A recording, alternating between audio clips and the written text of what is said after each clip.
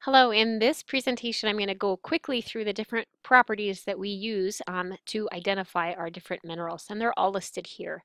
One of the first things that we like to think of when we think of minerals are mineral crystals. This is what you see when you go into a rock shop and you look at beautiful rock specimens that are showing those beautiful crystals. They're very shiny, they're eye-catching, um, and we tend to want to collect them. Crystal form is the mineral's external expression of their internal crystalline structure. It's not something we always see. Two examples that are on the screen are fluorite, which has a cubic crystal, and quartz, which has a hexagonal prism. Now again, when a mineral is growing, if it has space to grow, then you can actually start to see this crystal form. But most of the time, a mineral is growing next to other minerals that are all growing at the same time, and they tend to run into each other, so we don't don't see this crystalline form. If we do see it, the crystals are always going to look the same. What we're looking at here is quartz, and this is two examples. One, the quartz, all the sides are the same, so it's a nice, perfectly symmetrical crystal. Um, on the right side, we're actually looking at a squished crystal. The angles at which the sides of the crystal are meeting is still the same, 120 degrees, um, but um, it's just this one was constrained a little bit differently. It's still quartz, has the same shape, um, but there's just a slightly different geometry because we have a shorter side versus a longer side. Okay, so again, if you can see crystal form, you might see it in your quartz sample, or you might end up with one that looks like mine, which is just massive. It's much more common to find it in this massive variety. All right, the next um, property that we're going to look at is luster. Luster tells us how light reflects off the surface of a mineral, um, and we break it down into two major groups. We have metallic minerals and non-metallic minerals. This is the first property you should look at anytime you're trying to identify your minerals. If you were to compare sample number three, which is your galena, to sample number 15, which is your quartz, you're actually looking at um, metallic versus non-metallic. Okay, so metallics always look like metals. Gold, silver, brass, things that look like steel. They can be shiny or dull, which is a key point to remember. Um, everything else is non-metallic. I do want to point out that oftentimes students mistakenly say that sample number 8 and sample number 1 are metallic. These are two minerals that do have some shiny surfaces, as you can see, but they're both black in color. These are non-metallic dark colored minerals that are also shiny, but not metallic. Okay, for all of our non-metallic minerals, we are going to spend a little bit of time trying to better describe their luster. Things can be vitreous, which is another word for glassy. This tells us that when light is shining off the surface, it looks like a piece of glass. Okay, so think of a glass cup or maybe a glass figurine that you might have. Quartz is a good example. Um, waxy lusters are those where light is reflecting off of it the, the way light might reflect off of a wax candle. Silky or pearly, if you can imagine a piece of silk, kind of that satiny appearance, when it shines off of it, it has a sheen to it. It's not shiny, it's not sparkly, but it's got a little bit of a sheen. That would be silky. Okay, so the feldspar minerals fit into this category. And the last one is earthy or dull. This looks the way light would reflect off of a pile of dirt. So it's not really reflecting back. It kind of is a dull look. Olivine is often in this category.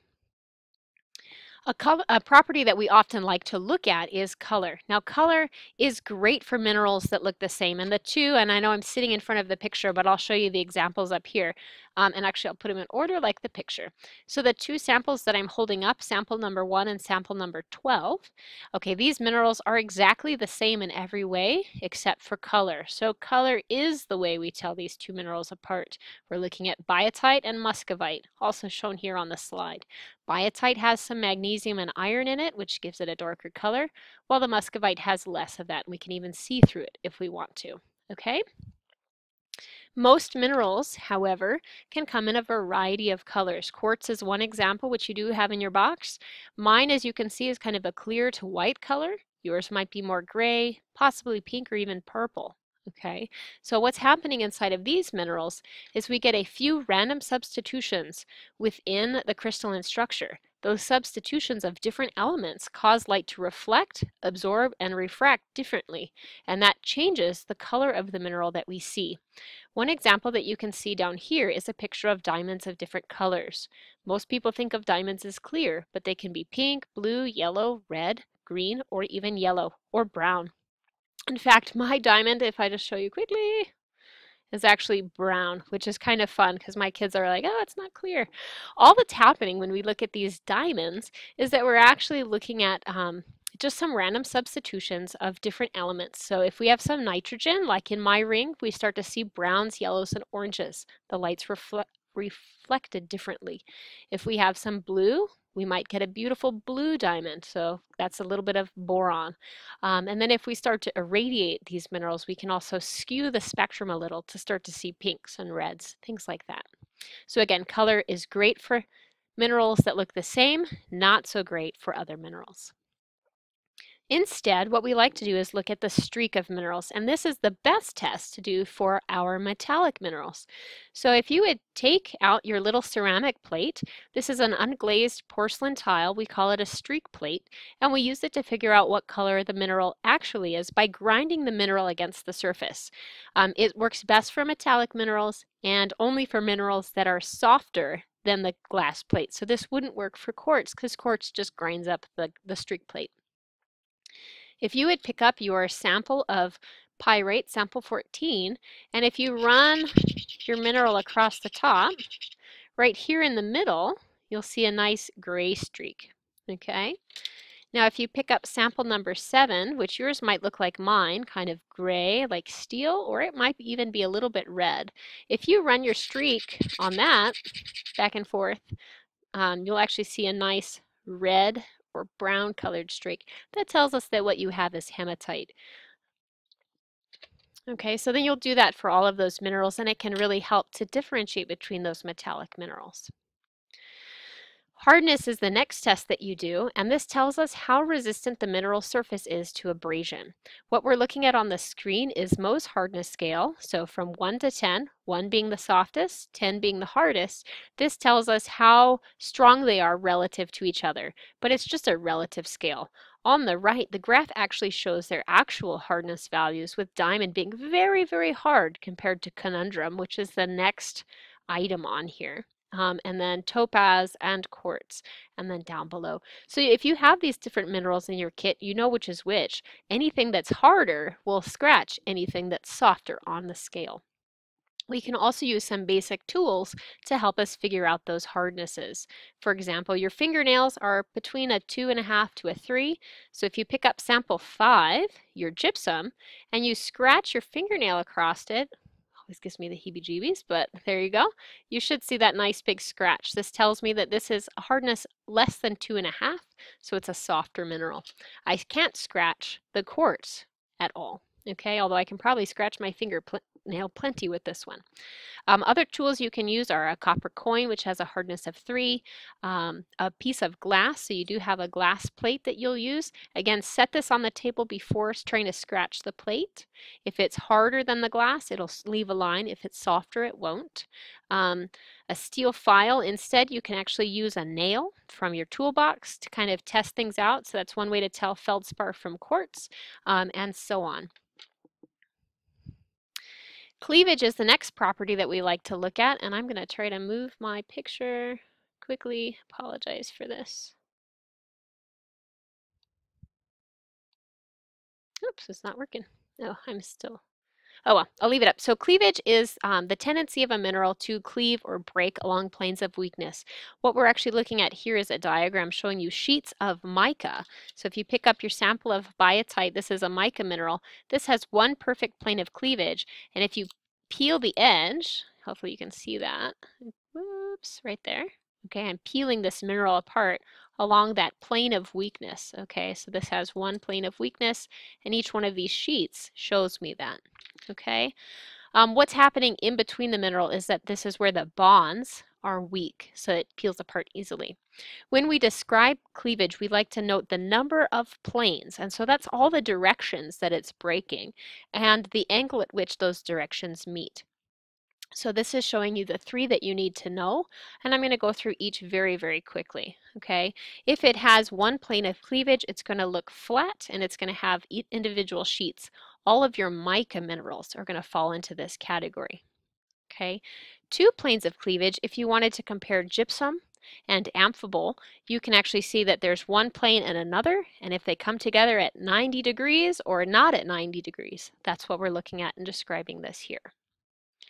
All right, three planes of cleavage is a little bit more obvious. So I'd like you to pick up your sample two and your sample six and compare these two.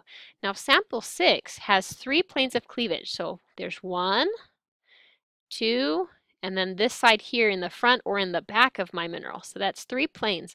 And if we look very, very closely at the angle at which they come together, it's at a 90 degree angle. So this has three planes of cleavage at 90 degrees. If we break it with a hammer, it's going to make lots of little cubes.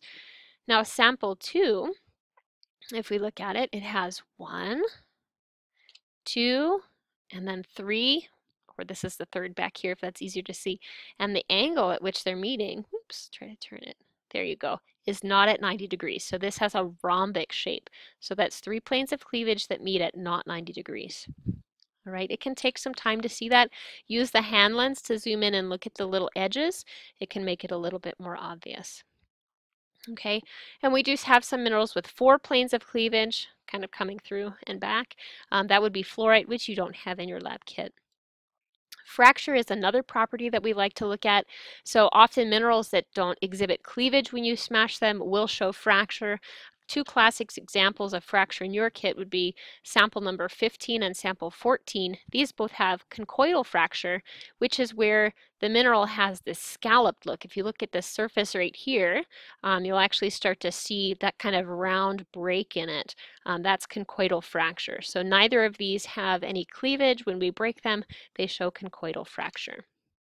There's another example of fibrous fracture. Um, this is looking at chrysotile, which is a type of asbestos. You don't have that in your box, but it's just showing a picture on the screen. All right, specific gravity is another property. It tells us um, kind of how hef heavy or the heft of a mineral sample. Um, so you could compare sample number three to sample number four in your box. They're about the same size. Um, you have graphite as number four and galena as number three. When you hold the two, you'll see that number three feels a lot heavier. Um, so that's just a simple weight test. Galena is our um, lead ore. Okay, so it has a lot of lead, which is a very heavy atom. Um, it's going to a heavy element. It will feel much heavier when you pick it up compared to the graphite, which is just made out of carbon. Okay. The next feature that we look at is tenacity, and this tells us how flexible the mineral is. Um, if it's brittle and you bend it, it would break. Okay, flexible things like your biotite, if I bend this, okay, I can actually bend it a little bit, let it go, and it goes back into its shape. That's kind of flexible or elastic. And then malleable minerals like gold shown here, if we hammer it out, we can bend it into all kinds of shapes. Some minerals do react with acid, so we're actually looking at a um, calcite and dolomite. There will be a demo for you to look at that reaction later on. Um, if there is carbonate present in that mineral and you put a weak acid on it, it will start to release the carbonate and that creates a fizz. So calcite is very easy to tell apart because it reacts with acid. Dolomite will react with acid if you grind it up first. Okay, um, some minerals have double refraction, and this is um, just the bending of light as it moves through that sample. Um, calcite can do it if you can see through the calcite. If you can't see through it, it's hard to see this, but what you're seeing in this picture is kind of the double refraction um, shown here.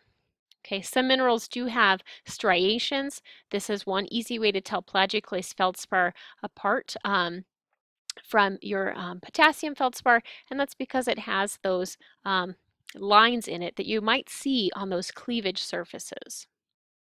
Okay, and then there are some other properties including smell. Sulfur tends to smell like rotten eggs. Talc has a soapy or slippery feel, as does graphite, which you have in your box. You can rub it. It leaves a mark on your finger, but it also feels greasy or slippery. Um, some minerals have a taste. Now, if you're careful with your samples and you haven't been touching too many things, you could taste your sample number six. It will taste like salt. And then other minerals um, have properties that like magnetism. If you have a piece of magnetite, it will start to attract other metal objects. And mine, I don't know if you can see this, it has little tiny iron filings that are sticking to it. That just shows you magnetite is magnetic. So that's a quick run through of all of the properties. If you have any questions and you'd like me to expand on those properties further, please add them to the I Need Help discussion.